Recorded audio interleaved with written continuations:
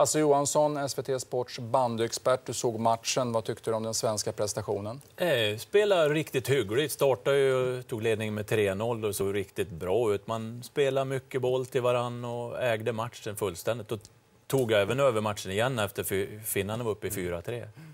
Men det känns ju inte så bra med en förlust. Hur förklarar du den? Oavgjort blev det att förlora på straffar. Så Förvisso, men... ja, ja, visst. Och, nej, det är det ju inte. Finnarna och svenska laget nu är betydligt mycket jämnare nu med Sverige utan Nilsson och Helmers, mm. helt klart. Så att, eh, det är så här det kommer att vara. Förmodligen möts de här lagen i en semifinal och då kommer det att vara stenhård fight igen.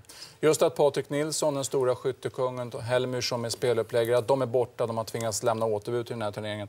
Vad kan det komma att betyda sen när det börjar hetta till mot Ryssland till exempel? Det är klart att det, det är ungefär som åtminstone en och en halv Zlatan är borta. Mm. Så att, eh, det är klart att det betyder mycket. Den stora målskytten och kreatören är borta. Samtidigt så får de ju bygga nu på laget. Att det är ju det det handlar om. Jag tror att det kan ha fått mycket bränsle nu att det är lager det handlar om för att de ska vara med i den här turneringen.